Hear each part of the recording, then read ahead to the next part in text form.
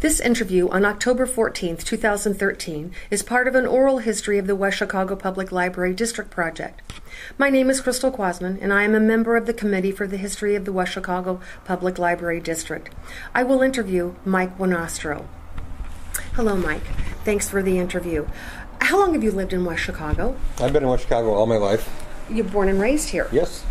Um, I, I am familiar with the family, um, and I know there are deep roots and history here. Would you please share uh, some of that with us, please? Sure. My dad came here from Mexico when he was two, and my fa- grandfather worked for the Chicago Northwestern Railroad, and he lived down in the train yards and would take the train uh, switch engine up to the crossing. They'd let him off, and he'd go to school, and then he went into the service, and then eventually he became uh, chief of police here and was with the police force for 26 years, being the first Hispanic police chief in DuPage County. In DuPage County, not just West Chicago. That Right. is, that's phenomenal, Right. admirable. And tell me about um, uh, your history with uh, with our community.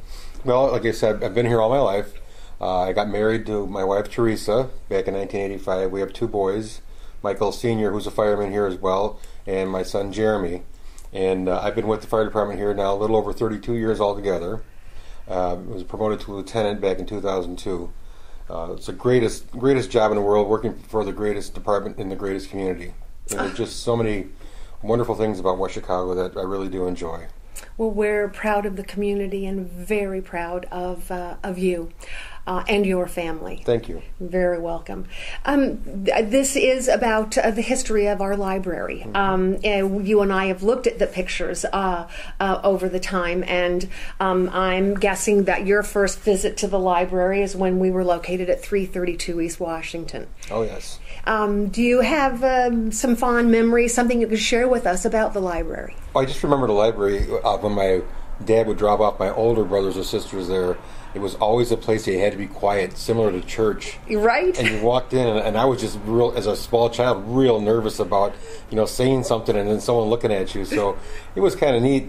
I remember we go downstairs to the, where the kids' books were, and I'd always go look for books with either trains or fire engines in them. Ah. I love that. It started as a young Yeah, man. yeah. Wonderful. And wonderful. then always there was something there. You know, I, I would show my dad about the police, you know, police cars or comics or things like that. But it was always just going down the basement. I remember that.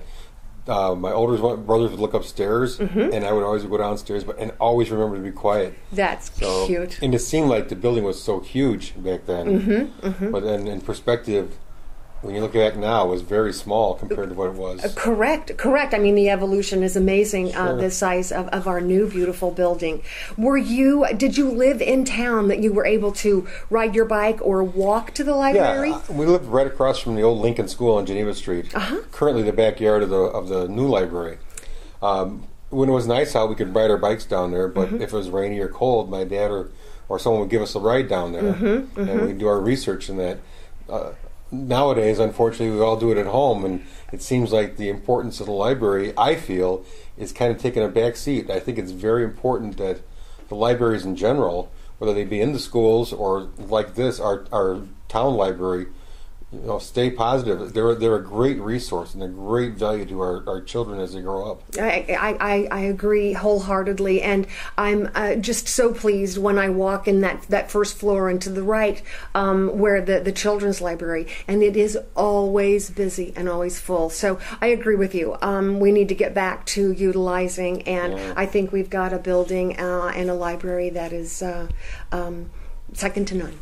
The, the new library, uh, obviously, my sons benefited from that as they were growing up. Sure. Um, and on the side, I'm also a fire inspector.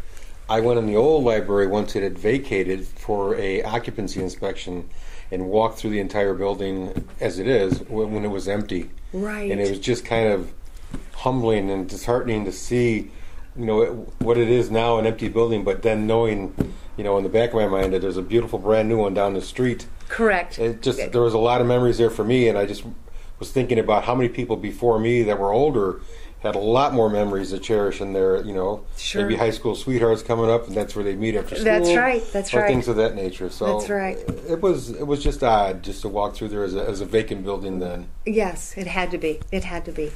Well, Mike, I want to thank you so much. This this has been uh, a very special interview for me. You came in on your day off. We're sitting in an incredible state of the art firehouse, and it's just been a pleasure uh, sitting with you. I thank you very much. Oh, I thank you, Crystal, for the privilege of being able to speak about the library. And I just encourage everyone to, to keep continuing visiting your library. It's a great resource, it's a great atmosphere for learning and just to be around people who are, are knowledgeable. So please, the computers at home are great, but you still need to get out and visit the library. I agree. I agree. Thank you. Thank you.